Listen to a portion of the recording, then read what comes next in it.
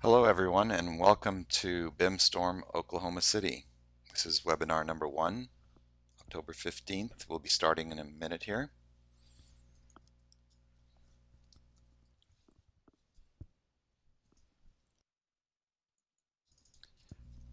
Over the next few weeks we will be having a webinar on Monday each day at the same time, heading into the live session on November 7th and there will also be a live presentation in Oklahoma City on November 12th.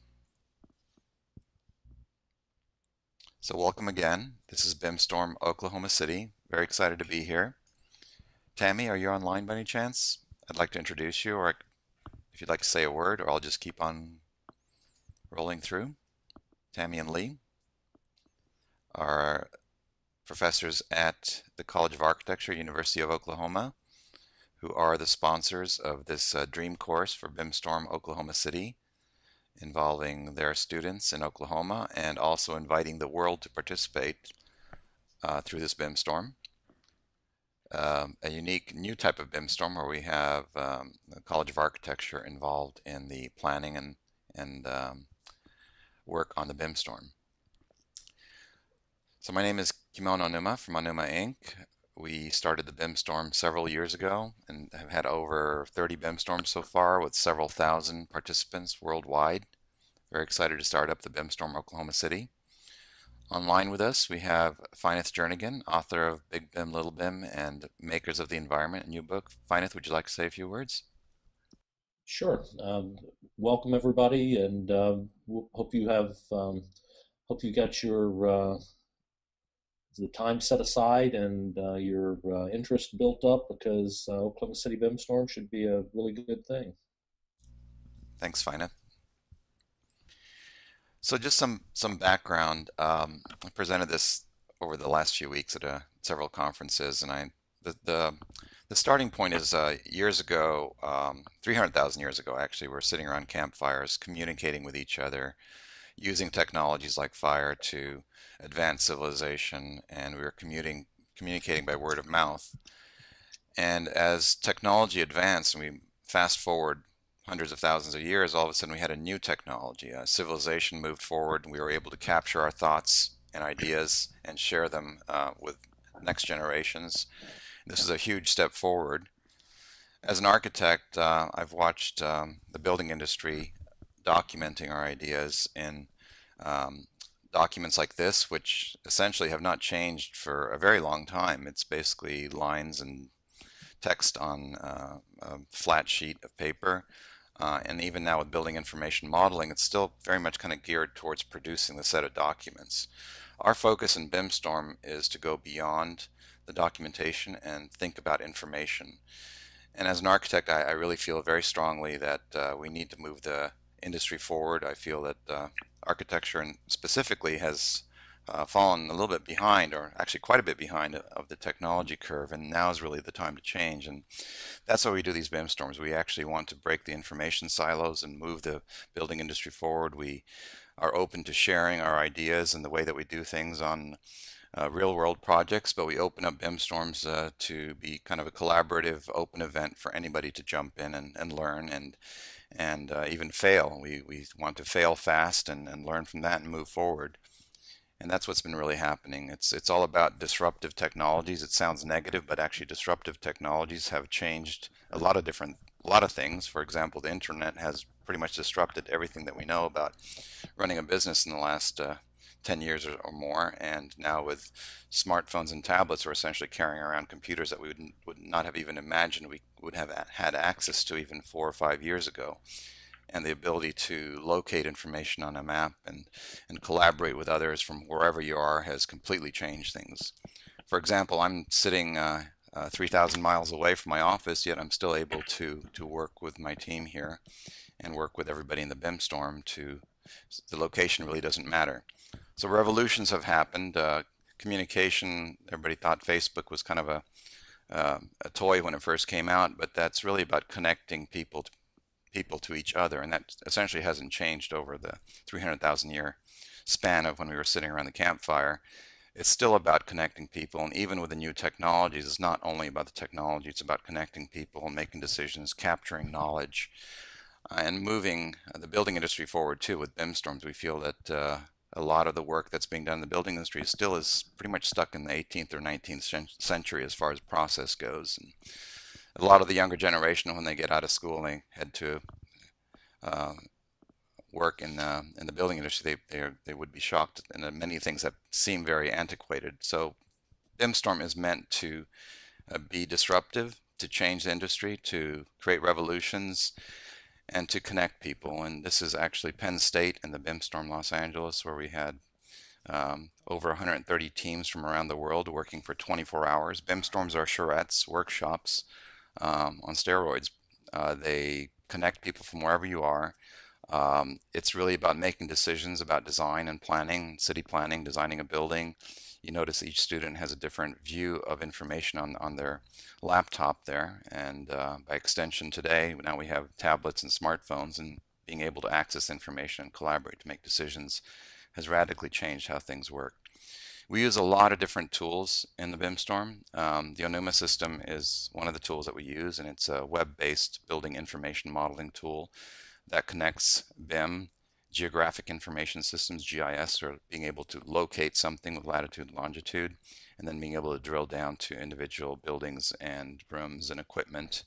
And as you're making changes, just like in Facebook, others can see it in real time. So when you're working on the internet, you come to expect to be able to access real-time information of where are my friends or where can I find the nearest Starbucks. And the technology has to do that has been around for many years, but now by doing uh, using this approach, we're bringing that type of a capability to the building industry. It's being used on actual projects, uh, so a lot of a lot of the same efforts that went into developing BIM storms are used for the California community colleges, for example. This is a mashup of GIS coming from ArcGIS Server and QGIS and Google Earth and BIM coming from the Onuma BIM server to be able to even see utility lines along with BIM and the color coding and everything's dynamically driven by a database. So as data changes, you're seeing things online that uh, update. It was very exciting a few weeks ago to see the Oklahoma City GIS uh, coming from Oklahoma City. Uh, uh they um, were kind enough to share the GIS data, so we have some pretty nice information as far as streets and parcels and existing buildings now uh, streaming in live from a server into the Onuma system in this view here, and we'll be looking at this live in a few minutes here. But it's basically the black buildings are existing, the blue buildings along the bottom are uh, Tammy and Lee's students. Uh, they've started to put in uh, different uh, massing studies uh, uh, along the the river front area there. Um, and Oklahoma City, um, maybe Finith, would you like to say a few words about um, the background of this planning exercise from Oklahoma City? Well, I'm I'm not 100% sure I'm the absolute best person to um, to describe this since I don't live there either. But um, you know, basically, uh, the BIMstorm's going to work. We're going to be working with the core to shore area, which, if um, maybe Kimon, could you um, you know sort of po point to that? You know, the area down near the uh, near the river. Or you, can you um, kind of focus everybody. I think anybody who um, who sat in on the planning director's um, uh, presentation probably got a pretty good overview of this with uh, Hubcap Alley, uh, which is the yellow um, section. Uh, you show that uh, Kimon right right above the so you've got the river's edge area which has not been there's really not a whole lot of plans for from what we can tell you've got hubcap alley and you've got the river neighborhoods, uh, the relocated interstates above it, uh, connecting to the to downtown, you know, the more densely dense part of the downtown, and you know, it's pretty much the, the one of the nice things about BIM storms is the it's a pretty much open uh, open blank sheet of paper to work within this area. We we hope that people will use you know good you know good planning, good urban design kind of thinking to come up with with creative solutions. But it really is an open slate or open clean slate that you can come in and uh, really express yourself, show what you can do, you know, really practice. And I think, as Kimon said earlier, the whole idea with this is it's a very low risk, way to try things. And if if you if something doesn't work, you know, just dump it and go on to the next thing. It's a very you know, I think the expression on the web is fail fast and move on, and this is a fail fast and move on situation. You know, exactly. try something and move on. Exactly. Yeah, we. Um, what's exciting about this actually, in previous BIM storms, we had to actually go out and seek um, planning scenarios. Uh, some were based on real world scenarios. Uh, others we had to completely make up from what we knew what was happening in the city. For example, in BIMstorm Los Angeles, we did not even interact with the planning department. We just started looking at what was going on with different planning exercises and inserted them into the BIMstorm. In Oklahoma City, uh, it's a very interesting project actually because the old um, freeway that's running east-west across, cutting through the downtown area there, is being demolished. Uh, a lot of cities, other cities in the U.S. also have this kind of approach going on that uh, uh, the decisions that might have been made in the past are no longer relevant, and now they're looking at moving that further south and expanding, and then also um, uh, capturing the, the, the water in the river to create a, a, it's a dry river most of the year, but they've dammed part of it and are able to create a riverfront area now with a world-class rowing facility that is even used by the Olympic team. So the whole area where you see kind of the white area right here, that was the um, that the uh, new freeway is going to go in, the old freeway is coming out of here, and a connection from the new the down existing downtown core area to the shore area is the focus of this BIM storm, this area right here, and we'll be looking a little bit more of that at that later. Um, Tammy, feel free anytime you'd like to jump in, but I'm going to keep on rolling unless you have any uh, comments. But uh, so um, a couple more comments before we go live here. Um, this is actually a very important concept for us in the BIM storm. Um, a lot of architects and designers are very familiar with building information modeling. Uh, GIS or Geographic Information Systems has been around for a long time, but not as uh, commonly used until things like Google Earth came around, and now we have maps on our smartphones that put a dot on a map and say, "Here, you are here, and here's the nearest Starbucks," for example. Um, so what we do in BIMstorm, we, we look at it from this perspective. We look at it from a world world view where you have a dot on a map and you say, here's Hong Kong. You zoom into the city, you see buildings, uh, you click on a building, you open the building up and you see the plan of a building. You go to a certain floor, you see the layout of that floor. You go to a room, you see the, the, the spaces in the room. And this can happen for an entire city model. Um, the difference between this and the very detailed building information models that a lot of us are used to for uh, design and construction, which are incredible, and we use those tools as well, is that this is a lightweight version of the same data that can be streamed live through the internet. So you, as you're changing things, so if somebody was actually moving a building, for example, in a planning exercise, another person would be able to see that live. It also opens up opportunities to connect other types of information to it. So for example, you could say, how many total square meters of building are we looking at in the, this part of the city in Hong Kong? 3 million square meters, for example. How, ma how many square meters is building number 23? 10,000 square meters. How much utilities? What are the utilities in this area? What's the latitude and longitude at the corner of a building? How much energy is being used by the building? Where does John sit in the room? What's the carpet in the room, etc. And then in the other, in another angle, you can also say, well, when I'm in the room, I'm John sitting in the room and I know that I'm in Hong Kong and I know I'm in this building in the city. So it's kind of a scaling thing that it doesn't matter what angle you're looking at it from. And this this is a critical piece for architecture and city planning and engineering. We produce a lot of information, a lot of data. That data is incredibly valuable if you can give it give access to other users that know nothing about BIM. So people that are on smartphones, for example, if they can have access to that information, um, it uh, makes it extremely valuable. Uh, in the other direction, you could say, well, I, I, don't, I don't care anything about the building. I'm a dot on a map, and I want to know everything about where that, what's happening on that dot on the map. So all the information, including where John sits, can be a dot on a map that says he's in Hong Kong, and I don't care about the rest of the building, but I'll, it's all interconnected. As an architect, I was at a conference last week where um, architects and builders were in the room, and an architect stood up and we were all talking about information and building information modeling and the the tone was that oh, well, I, I as an architect I didn't sign up for being a data manager. I didn't sign up to manage data. Well that's absolutely wrong because as architects that's all we've been doing for the, our whole existence is managing information in our head which is data which is converted into buildings. But now with this technology it actually frees us up to actually get get on and do the work. And that's what BIMstorm really is all about. How do we harness the tools to make intelligent design decisions? You still have to have people interacting, and that's why BIMstorm is about collaboration and connecting people to be able to make design decisions.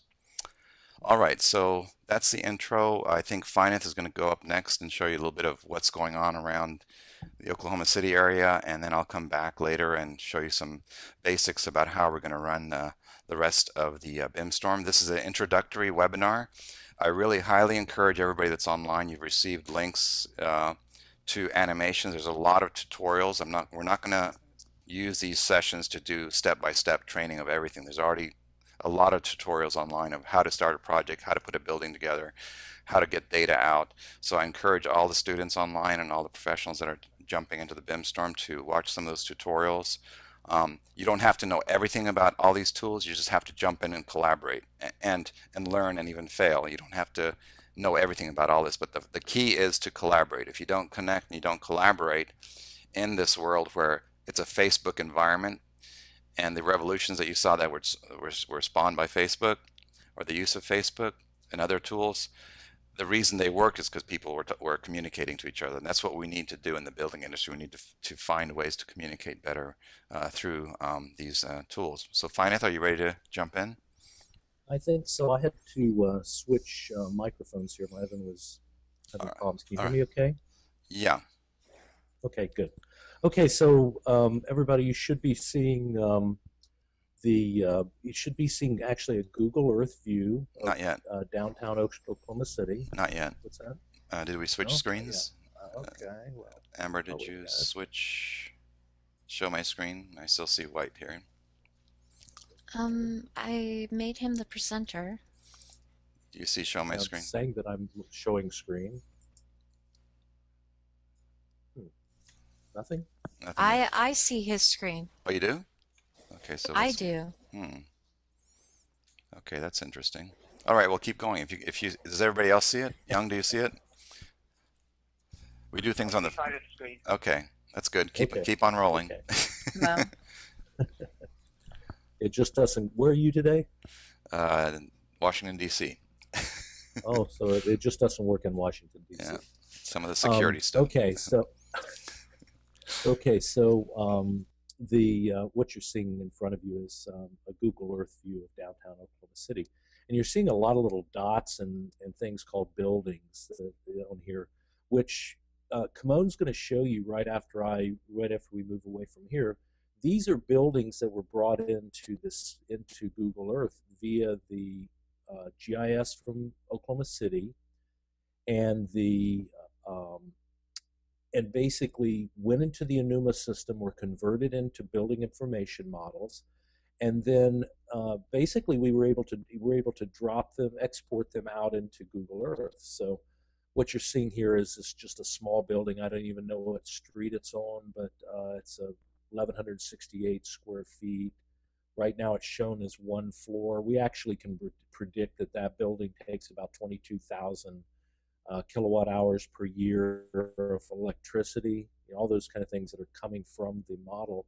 So what what what this is created from is is one of the things that we believe is a bit unique in the Onuma system is taking GIS uh, information about building footprints and rapidly uh, all these buildings you see on here were probably created in 30 seconds or so. So you know it's like a like a no, uh, almost a zero in the scheme of things, a zero time uh, frame creation of models.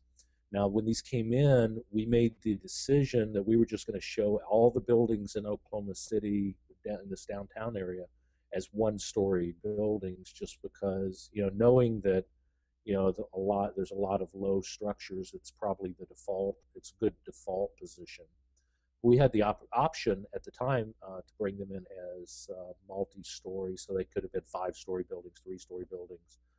Um, there are things in here that need cleaning up. Like I, I suspect that the building, this like this building right here, this 29,078 square foot building, which is setting over the, I believe, over the new interstate, probably got demolished when they built the road. So there are some issues related to um, what we call you know clean data and, and data sets that are kept up to date where where there's probably a group of buildings in here that somebody will have to go into the system and delete them just because they're they're just not right and they're obviously not right. There are other buildings that we're going to need to go and what this is what Kimon's going to show you next.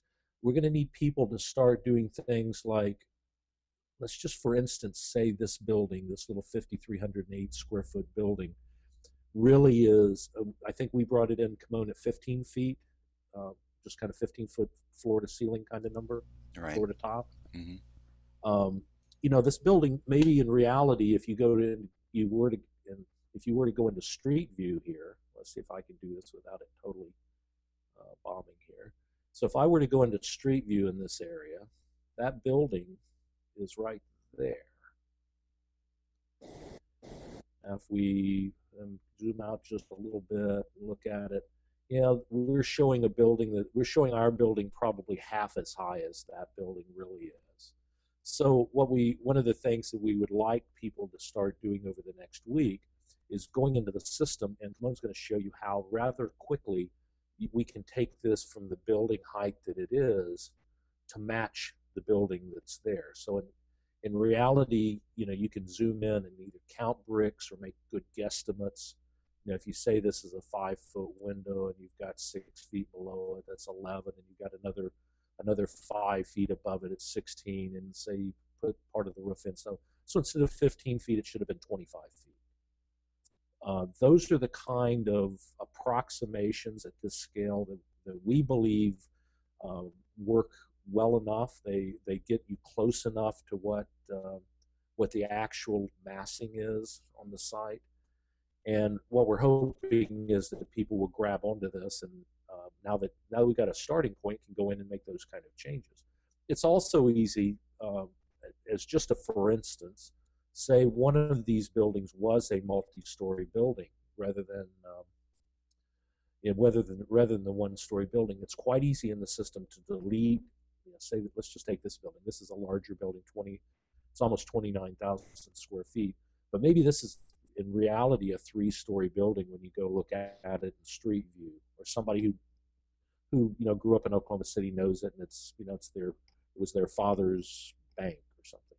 Um, this building maybe was a three-story building. So in the system, what we wanted to do is we want to go in and either make it three sto- a three-story building, so give it a 45-foot height, or we want to say it's a three-story building. We'll, we'll drop it out, we'll delete it out, and we'll re-enter it from the GIS as a three-story building with 15-foot floor to floor. And those are the kinds of things we're doing now. There have there has been work done already by um, by Professor McEwen and her students. If you click on on these other areas. They've been identifying um, the specific planning areas and the work areas, making connections out to other web web resources. So in this case, uh, the blog that's talk, starting to talk about what's going on in um, going on in this area with links. So there are there are plenty of other things that need to be done to uh, prep us for you know, for a, for three weeks, or three or four weeks from now, when we're actually getting into the the throes of uh, trying to come up with some solutions that really fit into this area.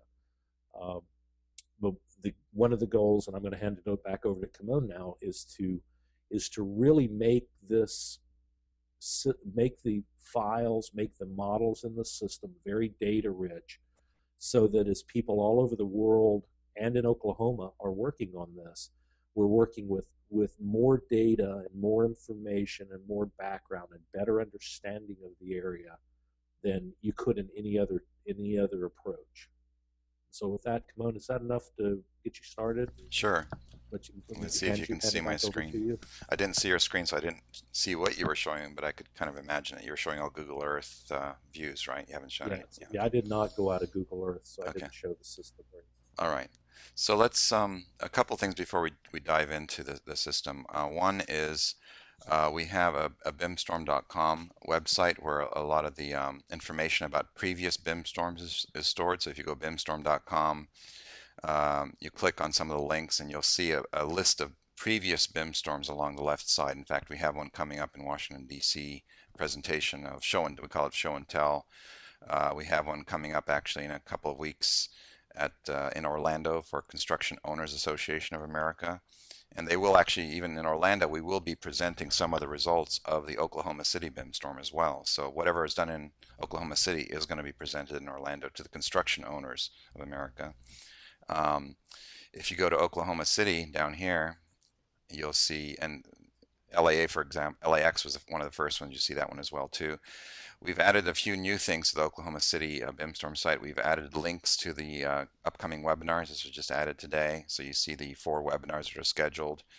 Um, we have the uh, presentation by the planning director of Oklahoma City, Russell Claus, that happened a few weeks ago. It's uh, a YouTube a video that you can just hit and play and gives a really good overview of the, the reasons of how it's set up uh, here. Um, there are also links to the blogs and the uh, College of Architecture, University of Oklahoma blogs and website here, which is going to be updated as well, and some other information. Uh, for those that have not signed up yet, at the very bottom, you can sign up to get access to the tools. So once you sign up, it takes a day or two, but you'll receive information of how to get free access to these tools. And that's one thing that we do in BIMstorms. We provide free access to the tools that we have. We've had in the past other sponsors come in and give free access to other BIM and GIS applications.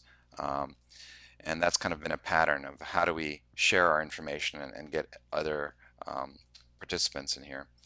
All right, so that's the uh, Oklahoma. Hey, one, yeah. One, one interjection here.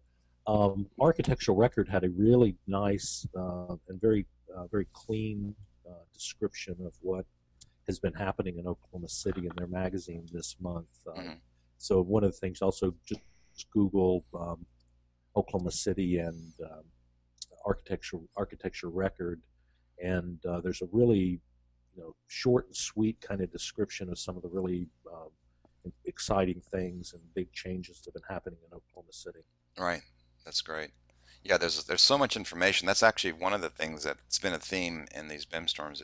It's that as a planner, as an architect, the complexities of these projects are just immense. If you can imagine, a, uh, even a single building has millions of data points, but if you start looking at a city plan and you start looking at utilities and you start looking at energy and you start looking at transportation, or you start trying to find articles or, or plans that were completed, uh, access to that information is critical. And the internet and the technologies that we have today, we almost take it for granted when we walk around with a smartphone and we can get to any street map in the world. Well, that was not always the case. It was always very difficult to get that information.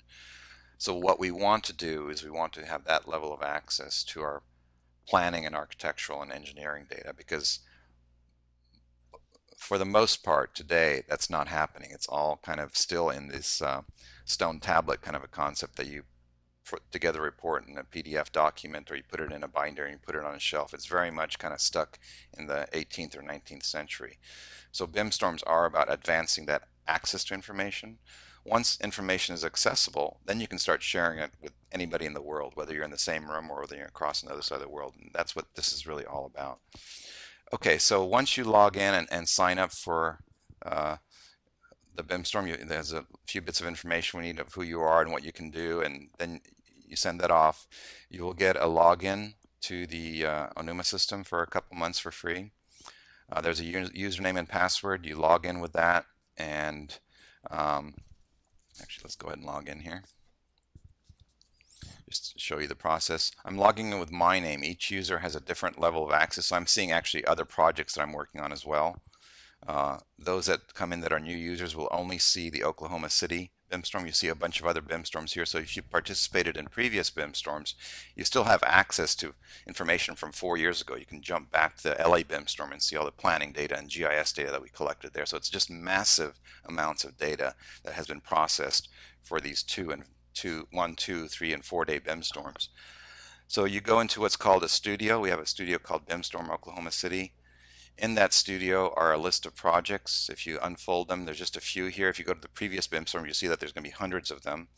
Um, Kelsey from the um, um, University of Oklahoma has started a, uh, a, a, planning file under the project called OKC River District. Um, one very important thing uh, as you're working on these BIM storm I mean, these projects is to share your data. So we have these little share icons here. These yellow icons mean that I want to share it with everybody else that's logging in here. So Kelsey has shared her file. That's why we can actually see it or duplicate it. And that's exactly what I did. I went into Kelsey's file and I could either edit it, but I went ahead and hit the duplicate button here and created my own version called training one, which I'll be we'll be looking at today together. So that's one view of it, or you could uh, also look at a map view of, a, of the world and have dots on a map to show where they are. There's a lot of other kind of reporting and other capabilities up here. I'm not going to go through all the features. I really recommend looking at some of the uh, animations that are online that explain some of that. But basically, it's kind of a list of projects. Uh, each of these projects has multiple schemes. So for example, I could say training day one, training day two, and have a different version of it. If I go into training day one scheme, looks like this when you first open it. It's a site plan. Let's start from the very beginning here, just from scratch here. But this is um, what's called a mashup on the internet. It's pretty common where you have access to multiple layers of information from multiple sources. This has not always been the case with planning and master planning or, or design. Um, as we know it, you know, you typically have to go out and find the latest document, bring it in and trace it or scale it or import it or whatever. Here we're looking at real-time data. So for example, the map in the background we're looking at is coming from Google, Google Maps. They have an, an API that allows us to pull Google Maps into another application. In this case, we're looking at the Onuma system. Uh, let's close some things here so we have a little bit more space. And this map is live. So if Google were to update this map, we would actually see a new view of it. And Google does this once in a while. They, they do it every few years in certain areas. So it's not always live data, but it's live to the point that they have the latest satellite view. And um, another view of this would be to look at it from a street Google Street Map view. So this is the same map. Uh, we're all very familiar with this. this is how we find the nearest Starbucks. What's different here is that we also have another server. This is where the mashup part comes in. The first part of the mashup is this map from Google is mashed up into this Onuma building information modeling interface. But next we want to pull in data from, let's say, um, let's look at the buildings these black buildings here are coming from another server, a GIS server, and the GIS data came from the uh, Oklahoma City GIS department uh, that shows footprints of buildings. So let's actually turn off the Google map for a second just so you can see what's going on here. These are actual footprints of buildings from various, um, we're not even sure what the source is, and it really doesn't matter to me right now because we just want to see the density of the city, have a, have a, um, a figure ground or a you know different type of graphics using this. Um, and then I can also say, well, I really want to see the uh, um, uh, where the railroad is. So there's a railroad line. So these are layers on the right side. There's minimal layers in this case. We kept it very simple. Uh, the river area right there, parks, um, uh, vegetation, um, pavement, um, polylines and parcels. So all the parcel data is there.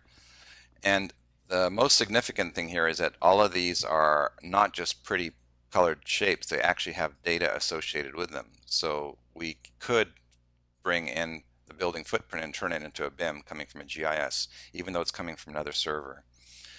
In addition to this GIS data, um, the uh, University of Oklahoma uh, started to bring in different planning scenarios. So for example, a zoning study along the waterfront area here, along the river, was identified with different land uses and notes were starting to be to be added. This is a, a, another mashup coming from another server now. So we have Google Maps plus the GIS data plus BIM data coming in here.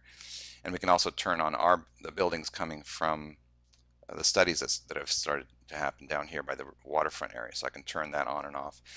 Any of these can be saved as a graphic. Obviously, I can print out a PDF, but as you can imagine, there's infinite variations of graphics that can come out of this. And graphics from an architect's point of view and a planner's point of view, graphics are always important because they, they tell the story. But if you think of the internet and the way that graphics are generated on the internet, like Google Maps and find the nearest Starbucks, it's it's created on what's what's called created on the fly. In other words, it's going and getting the latest data and putting a dot on a map and saying, here's a restaurant and it's four star and you can reserve a table because the table is available at 7 p.m. All of that is becoming very natural in 2012 and beyond and even before this as far as the technology goes. If we apply that now to buildings, okay, what can we do if we have that type of access to information for buildings and cities, and that's what BIM storms are doing. Okay, so um, in addition to being able to, and I've copied Kelsey's scheme, so I'm not going to be messing up any of the plans that were already created. Uh, but as a user, I could say, well, I, I like this building that was placed here, but I really want to change the shape of it because I really believe that it should really be doing this. Maybe it's a bad idea, I don't know. But as you change these shapes around here, uh, the basic uh, um, tools, it's intentionally kept very simple. This is not intended to compete with Rhino or CAD or, or BIM, but it is BIM with simple tools, which means that it's much easier to train a lot more people to touch the data. So you don't have to be a BIM guru or a rocket scientist to start using, or a GIS expert, or a mapping expert, or a uh, you know, any you know an engineer of certain type. You, you're you're bringing different experts capabilities into and making that accessible to us so we can start doing planning exercises like this and move these these spaces around. As we move these buildings, they actually update the, the square footage and even cost data. So if I wanted to, for example, pull up a report, this might take a few minutes because there's a lot of buildings here, but let's pull up a site report and let, let that run in the background. As it's calculating all the square footage, actually that was pretty quick, it just calculated the square footage of all the buildings in the area um, 4 million square feet of gross area, a million square feet of roof, uh, total cost of all these buildings, including that edit that I just did. And that's what excites me as an architect. When I, I, I love architecture, I love planning, I love to be able to spend more time in design. What I don't like to do is crunch numbers to say, well, how many square feet was this design? That should be done by a machine to give me more time to do design. That's what this connection here is. So if I change this out to here, and refresh the screen here, it'll actually update all the data and the, the roll-ups about about this new plan that we just did and create a pie chart that says, well, here is the uh, uh, the facility types by, and I don't, I don't even know this was in here. Kelsey actually probably added this recently, but it's breaking up the buildings by use. So there's color codes that say there's uh, pink is mixed use facilities and green is this. So if I turn on this color coding here and say show me facility type by OmniClass, I'm assuming, yep, there's the color coding. I didn't even know that was there. I just discovered it by turning this on as I was doing the presentation. Um, so I've edited these buildings now and all the reports. So from a graphical point of view, it looks pretty simplistic, but actually there's a lot of stuff happening in the background. It knows how many floors it is. So if I jump into the building and say, well, let's look inside this building now, it's a mixed use facility. How many floors are in that facility? And as we're doing this, if we were export this building from here into Revit, we're essentially creating a BIM, a Revit model of this building that can be handed to teams to say, okay, here's my design, start working with it. It's a simple floor plate here, but you can continue to add other spaces. For example, if I say I want to add uh, some circulation elements, um, uh, an elevator core, let's add an elevator core to it. There's an the elevator core there. Let's add some uh, bathrooms to the building we need one of these bathrooms right here. Um, so you're starting to create planning elements if you want to keep on drilling into the details of the building. You're inside the floor now and you're adding information about uh, a single room inside the building, inside the city. So we still are related back to the whole city, but we're looking at an individual room there if you want to go to that level which means you can rapidly start planning, okay, what does a mixed use development look like? What's on the first floor is commercial, upper floors is residential. What if we mix, we change the mixture of the residential units upstairs? Is it going to be two bedrooms and one bedrooms? Are we going to, you know, all that kind of stuff can happen very rapidly. And you can, you don't have to start from scratch like I just did here. You can actually start pulling in templates, which is kind of a bad word in architecture, but it's not because it gives us the ability to pull in previously designed elements so we don't have to re reinvent well, what's the size of a two bedroom unit and what are the elements inside it and all that stuff. So a lot of different capabilities like this. And as I'm doing this, Finith on the other end can be seeing what I'm doing and be able to react to it and say, well, that's a really bad idea to make that building this massive. We don't want to break up the courtyard here or whatever the, uh, the issues might be. Um, all the time while I'm doing this, it's also creating that 3D Google Earth view that, that Finith was showing earlier. So I could pull up a quick view of it here. Let's see if it renders. I have a lot of stuff running here, so I'm not sure if this 3D is going to pop up here in time. Oh, yeah, there it goes. Okay, let's see what happens here. There's there's that building. Um, you can see the floors. You can, see, yeah. Just, just interject. it's hard for Finith to send you a note about the problems with this scheme if you don't share it. You're absolutely right. So I have not shared it. This is ab absolutely critical in your work in the BIM storm. If you don't share what you're doing, nobody else is going to be able to react to it. You're not going to get uh, a response. And if you're in, a student in the class and you want your instructors to be able to react to your design, is almost like turning your assignment in. So the fact that I have not shared it, Finith can't see it.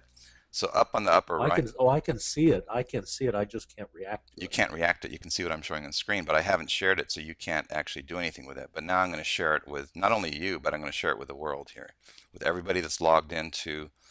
Um, I'm going to share it with read-only permission with all the users in the studio. And if I click over the names of the users, I actually see their names there.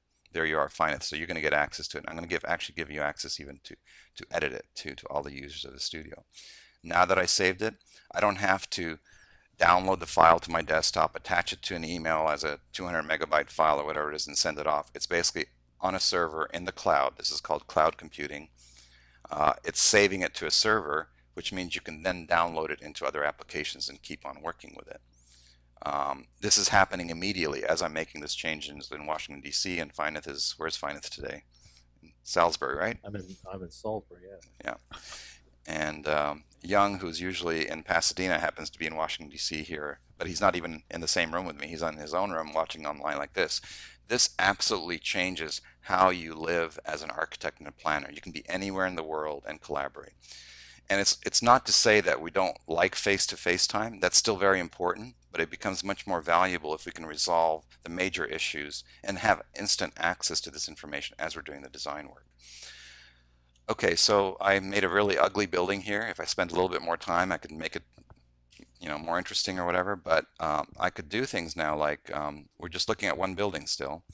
But I could well actually yeah let's let's do this. Let's export this out. Let's do an export and say export this out. I, you've already seen Google Earth. There's a lot of other options for exporting. So going to the cloud, to the server and saying, I like what I see on screen, but I really want it as a Revit model because I want to start as a Revit model of the, here's a requirement. The client said they want a four-story building with a, uh, one bathroom on each floor and the elevator core. That's all I want.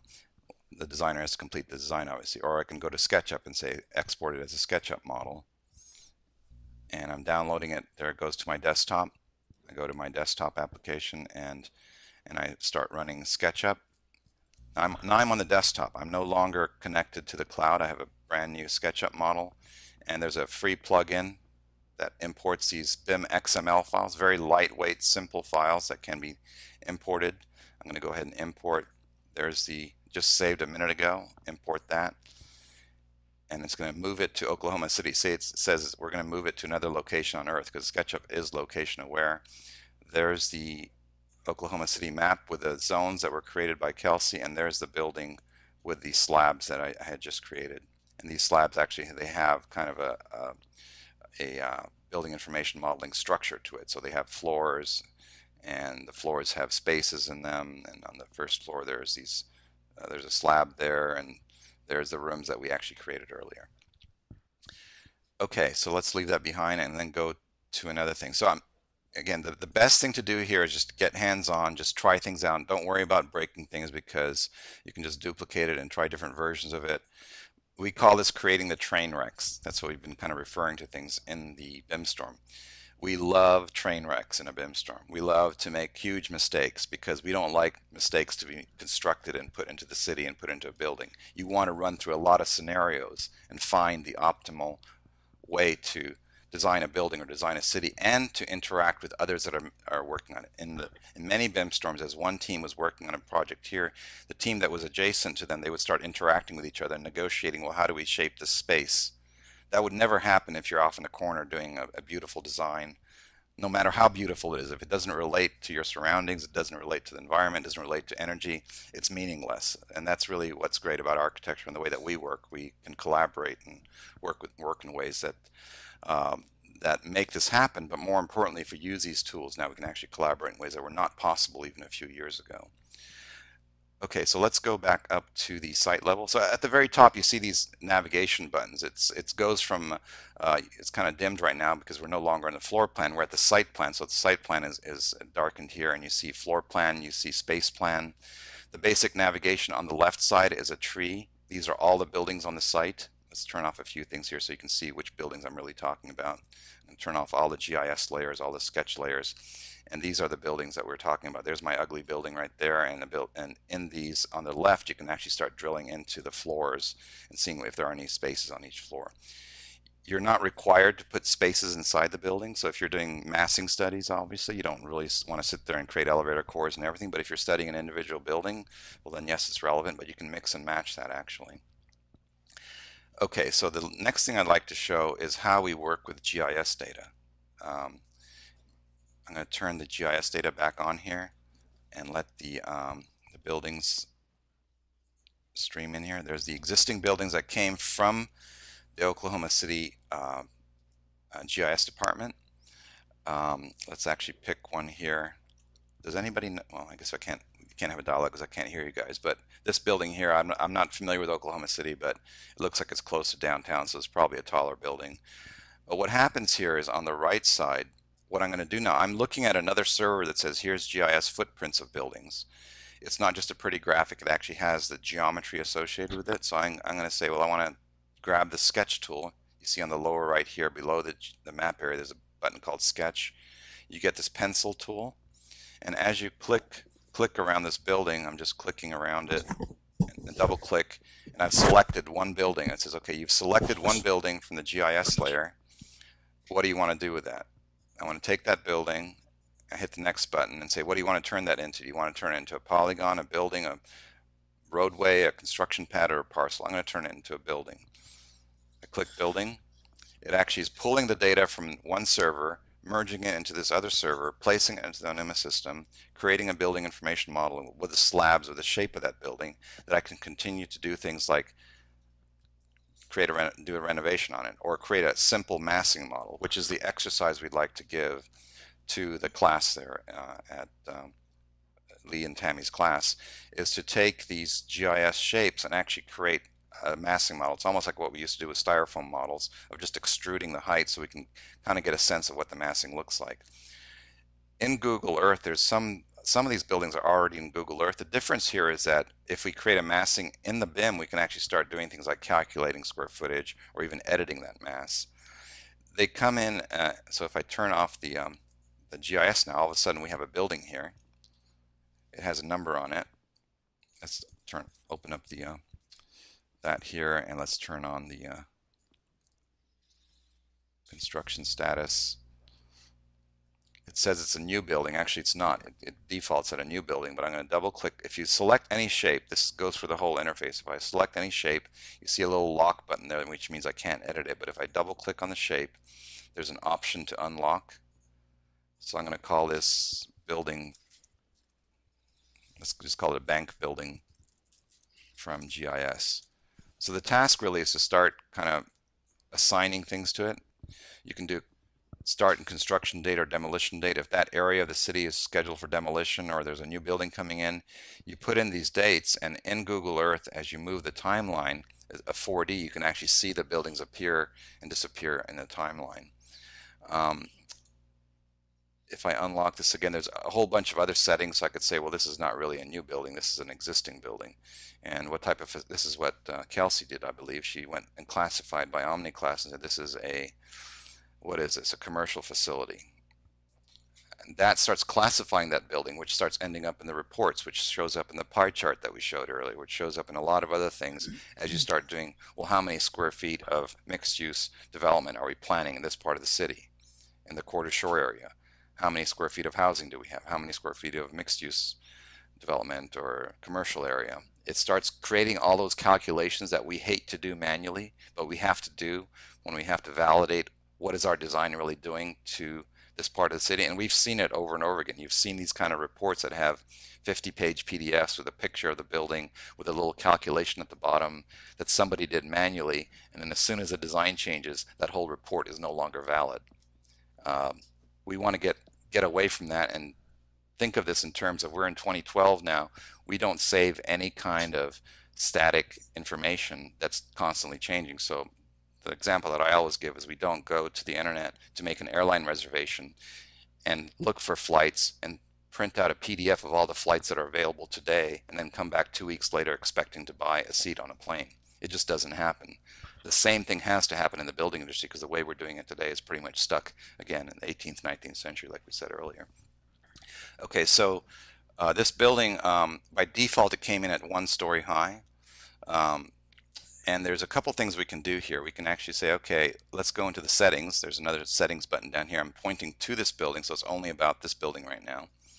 And I go into the settings tab, and a settings dialog box pops, pops up with a lot of other settings. You can start saying, well, what LEED rating does this building have? We want to call, you know, call out the LEED rating. What's the uniformat scheduling if you want to get into more detailed cost estimating and, and specification of what goes into the building. Uh, but what I want to focus on is a button called floors. So this building, um, oops, let's see, where is it?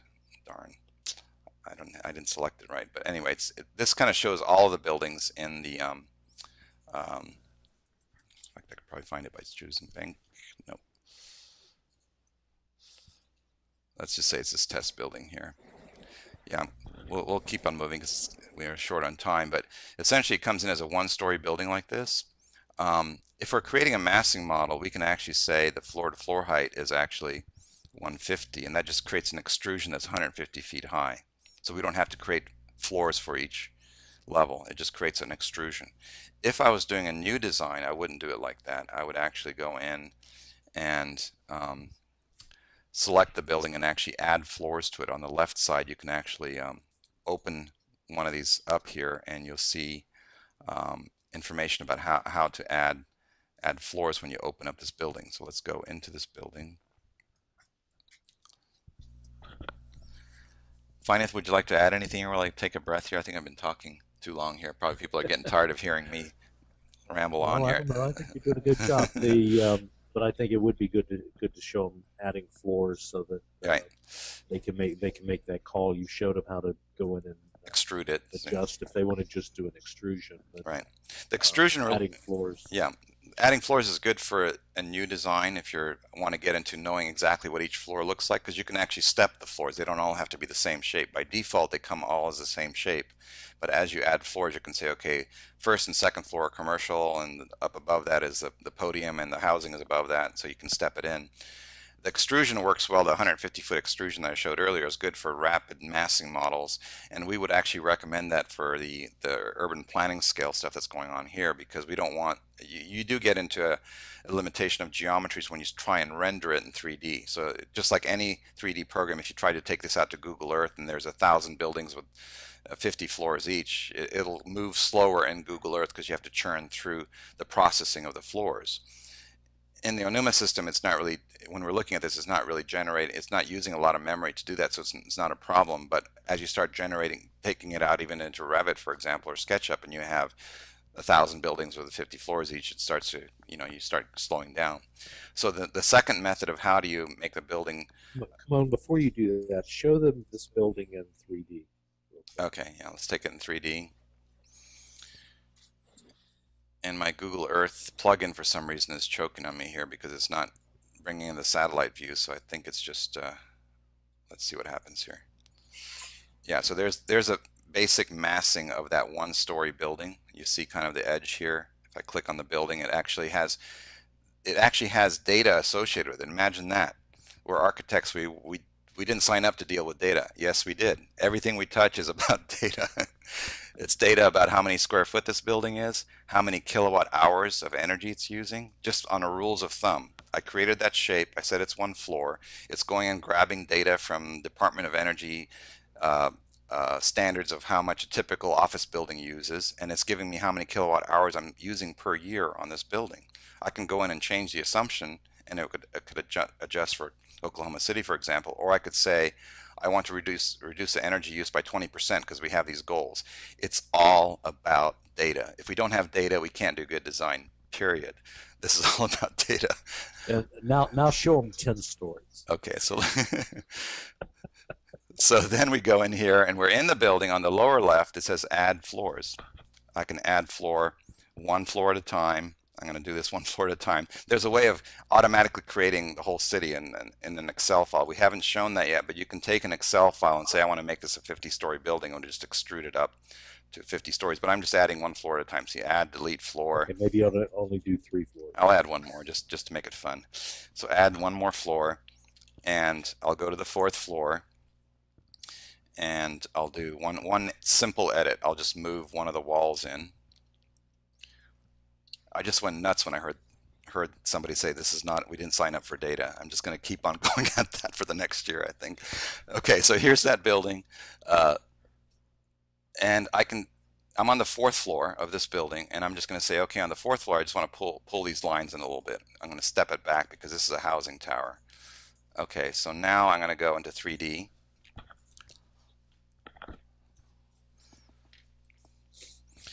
and look at this building now again in 3D Notice that it's created slabs. If I take this out to Google Earth again or, or SketchUp or Revit, it's going to create that volume. There's a four-story building.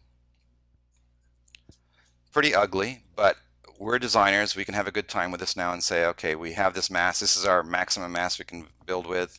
Uh, look at that. It recalculated the data of the square footage, recalculated the data of the kilowatt hours, and gave us a new report while we were just pushing shapes around if we can't deal with data and we can't attach data to design, we're no longer architects in the 21st century and we're just toast. So this is a call to action to just jump in and learn this. Otherwise, we're just going to become less and less relevant. And for some reason, as an architect, I've seen this over the last, how long have we been working with BIM Finith? It's almost 20 years now, right? Both 20 years, 20 plus years. We thought this was going to take off 20 years ago. It's taken this long. And for some reason, architects have been the slowest to jump into this. Unfortunately, you know, the contractors and builders have been on it faster. Now is a chance to jump in and, and just learn this stuff and just get moving because there's really no more time to to work with 18th century processes. Okay, get off get off my soapbox. Hi, hi Kimon. Yes. Uh, Tammy has a comment that she would like to make before we sign off. Of course.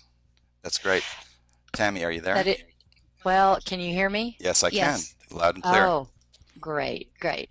Um, sorry, earlier I just was having a problem with my mic.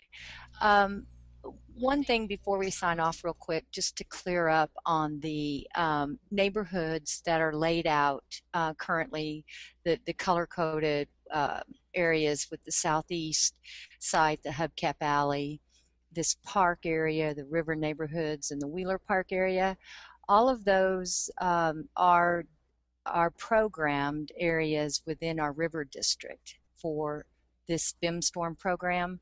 So they are all slated for redevelopment and even the river's edge. Um, as you can see with the current GIS data set, uh, it, it, it's not real densely populated and you know the buildings existing are um, it, it, it's a lot of uh, different mixed use. Hubcap Alley is um, is very much a um, uh, industrial area, but it has a lot of historical reference to it. Um, what I would just like to point out to uh, everyone participating in this um, a lot of these areas will be completely completely um, redeveloped. So the green area, the southeast site, that currently is a junkyard. So it is um, at this point um, an auto salvage yard is what I should call it. Um, that will be uh, totally um, redeveloped. Hubcap Alley does have some current um, buildings existing, a lot of historical reference, and some reuse uh, potential there. Um, and then also the Promenade Park.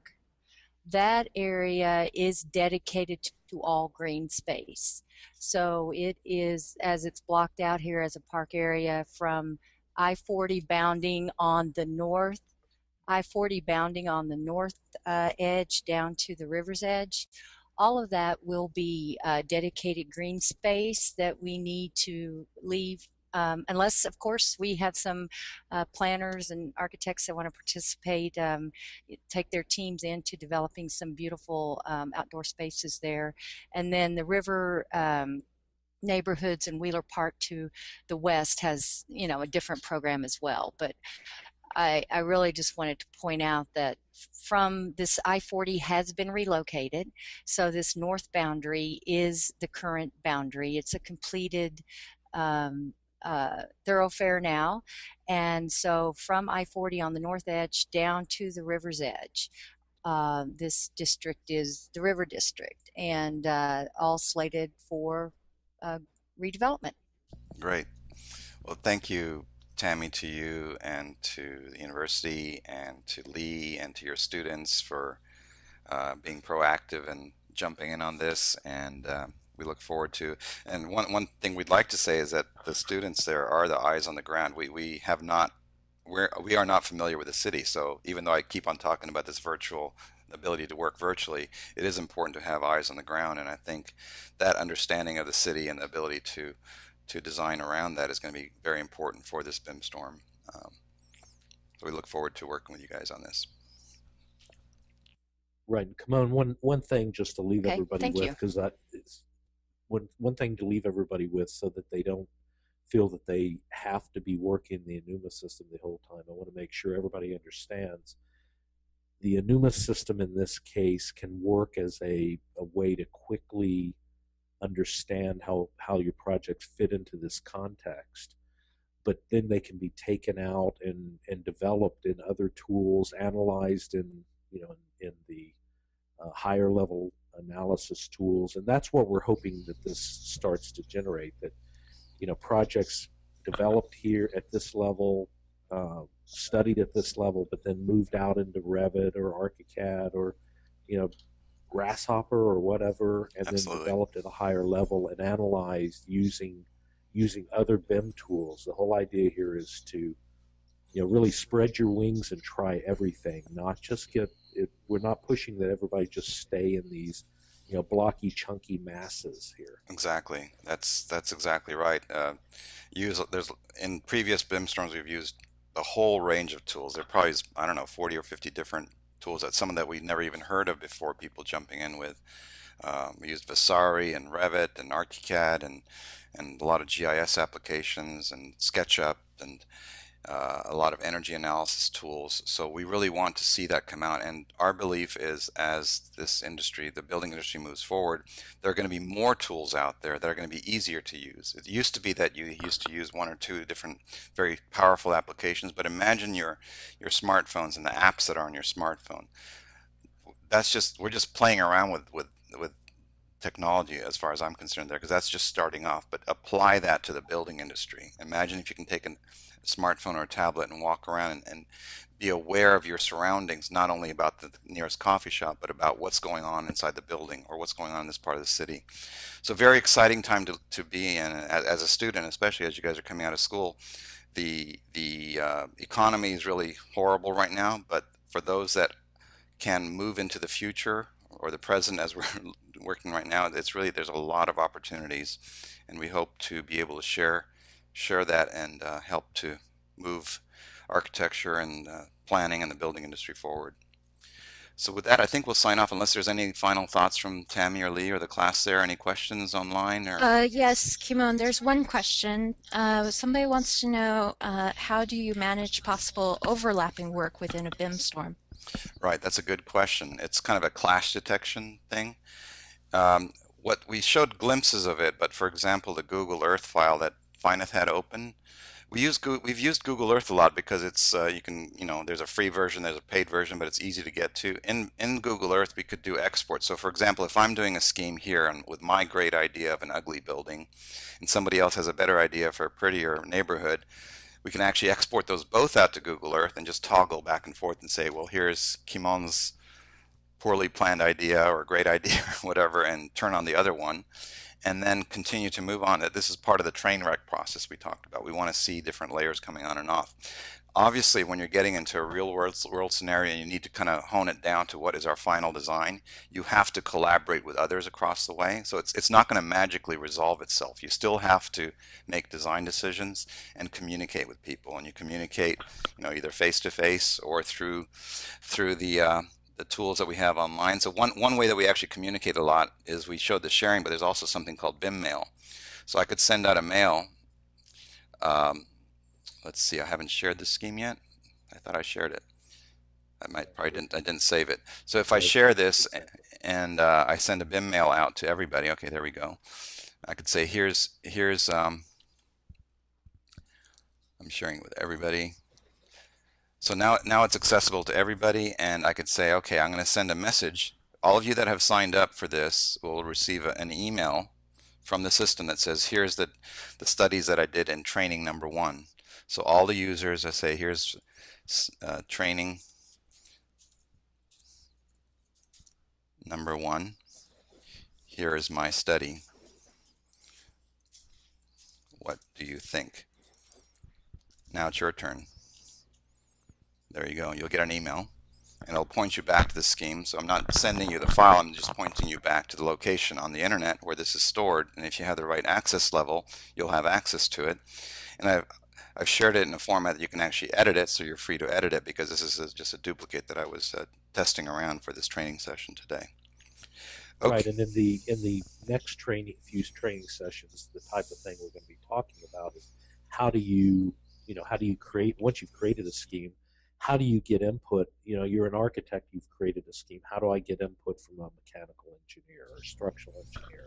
Right. Uh, I'm a I'm a structural engineer, and I want to to give somebody feedback. How do I do that? Right. Those kind of things, and that's that's really what the the training that we're going to do from this point forward is all about. How do you how do you interconnect with other professionals and other people, even down to the people who live in Oklahoma City? How do you how does somebody who lives in in down in downtown Oklahoma City who sees something that he or she loves or hates, how does how do they communicate that back to the designer? Exactly. All right, I think we'll sign off, but I want to thank again Finith for helping me today and Lee and Tammy in Oklahoma City, your students, uh, Amber, who from my team in Los Angeles, who helped host this to make sure I didn't crash while I had a poor internet connection here at the hotel, and Susan and my team in Pasadena, who also were on standby in case things went bad. We we have this kind of a backup approach to working collaboratively like this, and uh, you saw it in action. So thanks for joining us. Uh, hope to see you in the next session, and try and encourage more people to jump in. The more, the merrier. Thank you. Thanks, Kimon. Take care.